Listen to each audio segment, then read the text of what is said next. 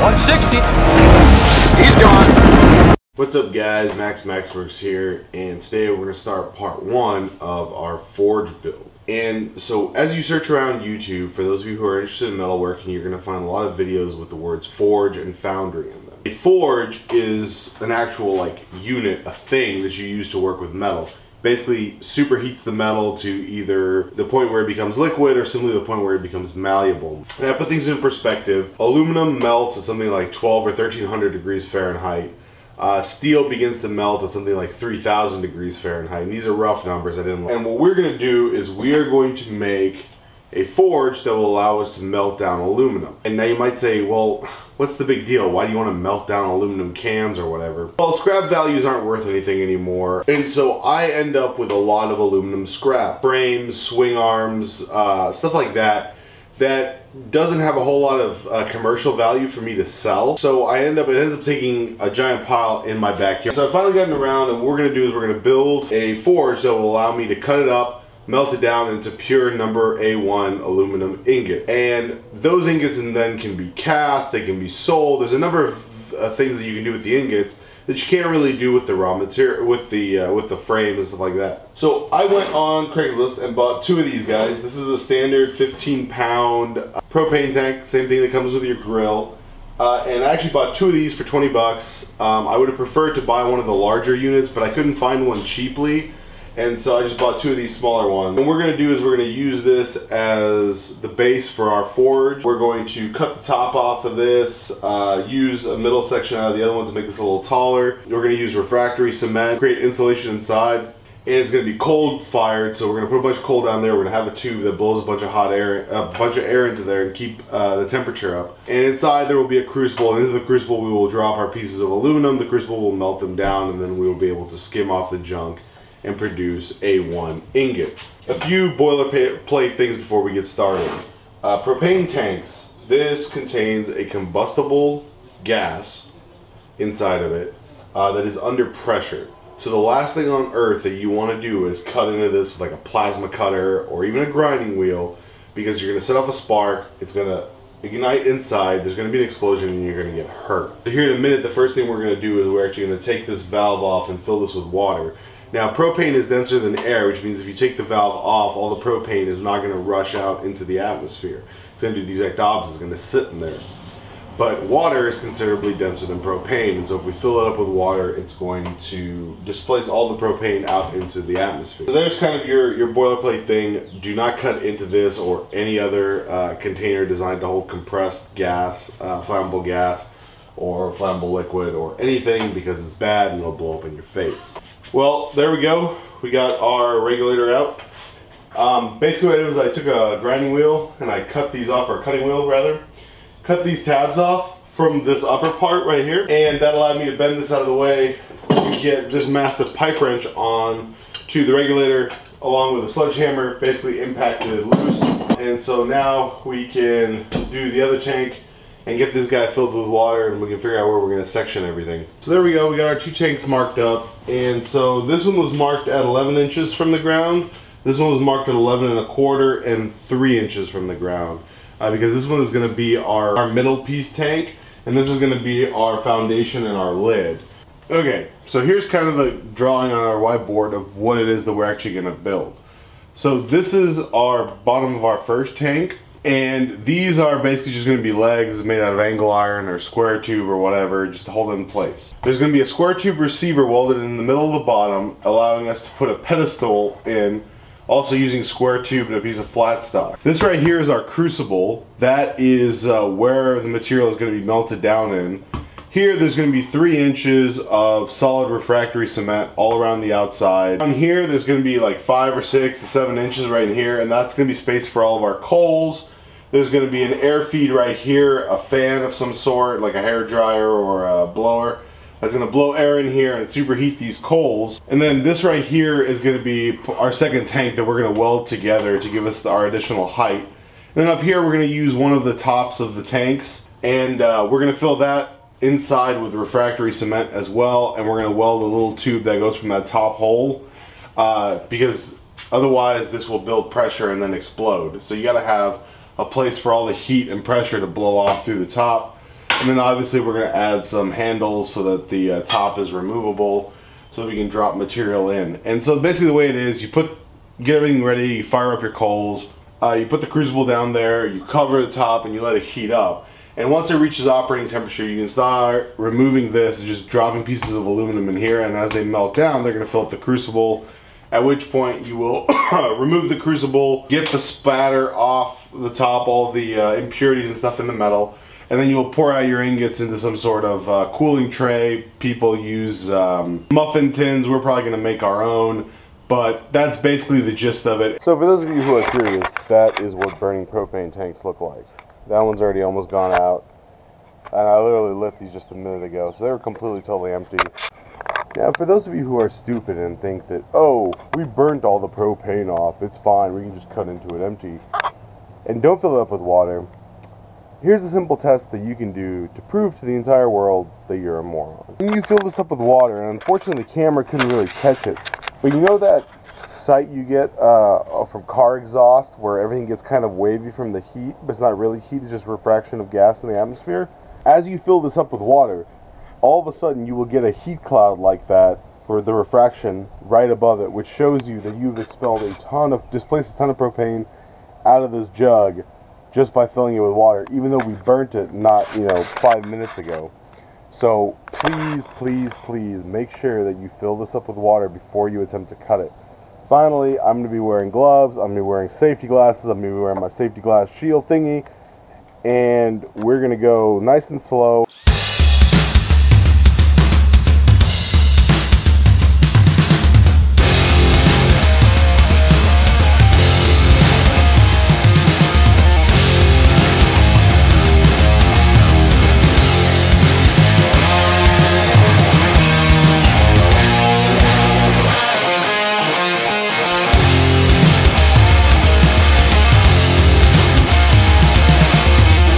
Now, I had a thought, which is generally kind of a dangerous thing for me, but since we're building, since we're adding this on top of that, I figured let's buy ourselves another inch, get a little bit of this lip, and this lip will go into the bottom of that over there, and it'll help us center this vertically, weld it into place, get a nice solid welded seam all the way around, and then when we fill the inside with refractory cement, it's not going to matter if there's a little bump here because the cement is going to be smooth on the inside.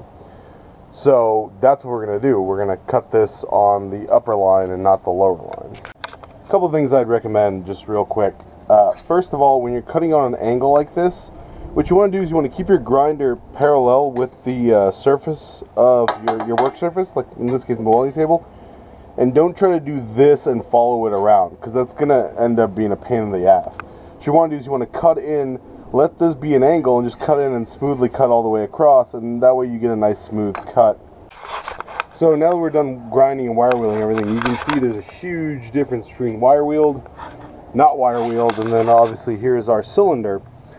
And so you might say, you know, okay, you're just doing that to make it look pretty, like who gives a shit. But the truth is, the more impurities you get off, the easier and cleaner your welds are going to be and the easier and better the concrete is going to bind uh, to the metal structure and that'll ensure longevity of your concrete and of your project. So you really want to take the time just a few minutes get everything super duper clean. Alright well it's time to start welding. And so we got everything set up here and the first thing we're going to do is we're going to weld in this bottom piece and all I'm going to do is basically just center it on that circle and weld it in and now you might be looking at this going, Max, what the hell, man? You got like a thousand dollars worth of cool ass TIG welding equipment in your garage. Why are you out here with a hundred dollar welder? The first is based on a recommendation of a trusted colleague. I have moved and I've bought this. This is a Washington Alloys flux core wire. I've never used it before, but you know he raved about it, and so I really want to give it a go. The second reason is that a lot of people that watch my channel, right, I'm not a professional fabricator. I'm not ChuckE2009. This isn't what I do for a living. I just the guy that likes to build cool shit. And I know a lot of you are just guys that like to build cool shit. And not everybody's got a ton of money to go out and buy professional TIG welding equipment and whatnot. So when I do a project that requires, you know, precision and strength of welds and so on and so forth, you know, yeah, I bust out the TIG but whenever I plan these projects, I always uh, try to do them in such a way that they can be replicated as cheaply as possible uh, by folks that don't have a whole lot of money or a whole lot of space to keep all this stuff. And so for a project like this, a $100 flux core welder is going to more than get the job done. These are really thin materials. There's not a whole lot of magical, you know, strength, integrity, blah, blah, blah going on. You can basically attack it with whatever kind of welder you got. A stick welder, a MIG welder, flux core, 100 bucks. It's all plenty. Um, you know, I'll use things like band saws and my table saw and whatnot to keep the pace, but really this entire project is designed to be done with a four and a half inch angle grinder and a hundred dollar welder. So with that in mind, let's get to putting this shit together. Now for those of you who are curious, I got the welder set up on its maximum power setting. Feed rate is around five, five and a half. Uh, we're going to see how well that, that does here.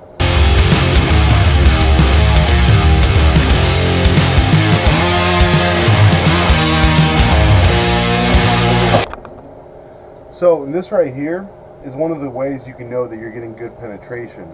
You know, when your weld is running a bead along the outside of this kind of metal on the backside of here, we know that we're getting good penetration into the bucket, and I can see I'm getting good penetration into uh, into that piece of metal. I don't know how well the camera's going to be able to catch that.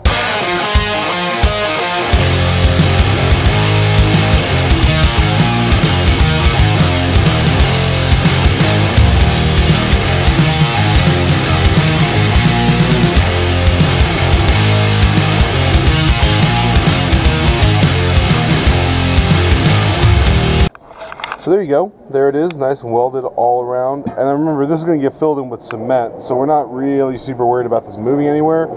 But it is nice that it's welded in place.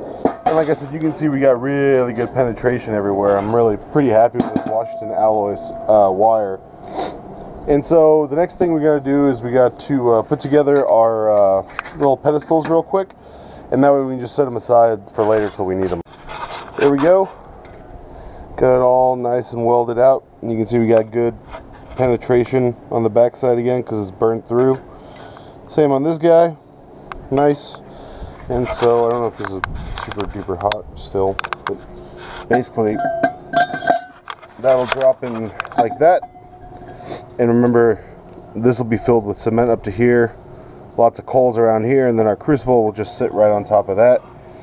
Uh, and now we should have plenty of space. Plenty of space uh, for our crucible right here because crucible is going to be about six six and a half inches tall and uh, pretty wide. And then we're going to have a cover right here and you want to have a little bit of an air gap here as well. Uh, so that looks like it turned out pretty good. So I left last night and went to go party and it rained. So I had to spend the first part today cleaning everything back off again with the wire wheel. But now, as you can see, again, we have this all welded up, right? So we got our, our base in there. And next thing we gotta do is we gotta figure out, I measured off three inches. Uh, this is actually five inches up off the ground to accommodate for about an inch of spacer down there and this is going to be the bottom of our flow tube right? And so you want your air coming in somewhere near the bottom of your coals. It doesn't have to be all the way on the floor but you want it to be near the bottom of your coals. And we're going to be using this old exhaust uh, tailpipe header thing whatever this was. I think this was off a uh, ZX6R but the nice thing about this is it's stainless so it's not going to rust. It's about the right diameter and it's got this cool slip fitting end on it. As you guys can see which will make it a little easier for me to uh, to fit a uh, blower onto the end of this. The other nice thing about it is because it's curved, it doesn't take up a whole lot of space outside, but it is a little bit on the long side and that's gonna help isolate the heat so we don't melt uh, our hair dryer or whatever we're using. So this pipe has a diameter of what? About 48 millimeters or 1.9 inches. So it's probably like a standard two two inch pipe. So what we're gonna do is we're actually gonna cut a hole in here, feed this through, and we're gonna have this sitting uh, basically just inside kind of the uh, two inch mark. So the cement will end somewhere right here and won't leave a whole lot of uh, exposed steel. So the next thing I bought for about eight bucks at Home Depot was this. This is a uh, Quikrete um, tube and what it's done is you dig a hole in the ground and you pour concrete inside of this and then you can uh, destroy the tube later if you need to, or just leave it in the ground. It helps you pour a nice cylinder. Um, we're actually going to be using the opposite, right? We're going to be using the outside of this as a mold. And unfortunately, at least at the Home Depot I went to, these were sold in 12 inch and 8 inch diameters. And we need a 10 inch diameter. So I bought the 12. Um, as you can see, the 12 will actually slip inside of here, just barely. What we're going to do is we're going to mark it off uh, at the right height. Basically this plus a few extra inches make a vertical slit and then move it down to a nominal uh, 10 inch uh, size on the outside and then that will give us our pouring form so that we can um, pour concrete around the outside and mock up our uh, air pipe and so that's what we're gonna do to get this cut apart is just cardboard. I am probably just gonna take a hacksaw to it. Well you know what they say no good plan survives the battlefield. Um, my my 10 inch tube has now become a 9 inch tube. And quite frankly if uh, I wasn't trying to fight for every uh, inch of space I could get inside of this tank I would have been better off with just an 8 inch tube. So if you're if you're looking at smaller projects you're not as interested in melting down bigger pieces of aluminum and you're using these propane tanks I would say just go and get the 8 inch uh, tube and don't even waste your time with this uh, however if you do get a 12 inch tube and you want to go for like a 9 or something or 9.5 or whatever um, what I found is using an air stapler to run staples along this edge is the closest way to get a good seam. Obviously we're going to leave a seam in the concrete inside of there, but to me that's really kind of a small price to pay. Remember we're making this out of an old fucking propane tank, so I don't really care what it looks like. That centers in there quite nicely, and so now all we really got to do is uh, cut our hole and measure it in, and what we're going to do is we're going to back weld that tube in place to make sure that this piece right here that we cut flush is going to ride up as close as it can right up against this. So there we go, we got everything set up. Grab my dark glasses here real quick. Another nice thing is, since this is a cylinder, make sure you put some stuff around it so it doesn't roll around on you.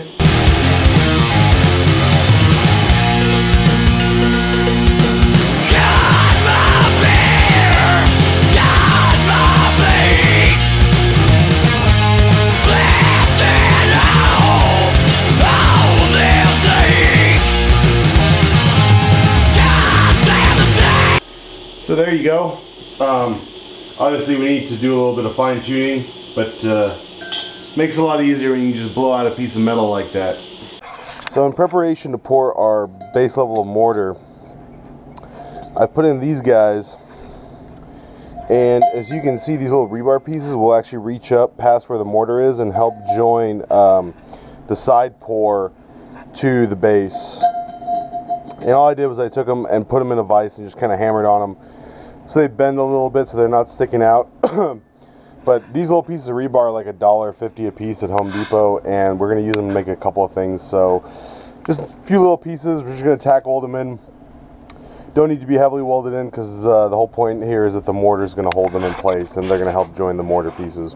There we go. Nothing really special. Uh, we're not going to put one on this side because we got the pipe coming in um, and we don't really need it, so I just cut three of them. But uh, yeah, nothing special. Just nice and tacked in there and shit ain't going anywhere.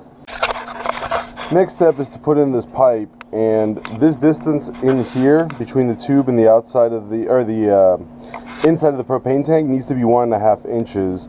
And so probably the thing I'm going to do is I'm going to put the camera down uh, and use both hands to kind of hold it in place and then tack the pipe in. Then once the pipe is tacked in, uh, it's pretty much centered. And it is starting to rain. So this is going to be the end of part one. Uh, part two will get posted probably in a couple of weeks, and in that you will see me finish up all of the metal work and pour all the concrete. Hope you guys have enjoyed this. Thanks for watching. It's going to be an awesome project, and we're going to melt some aluminum.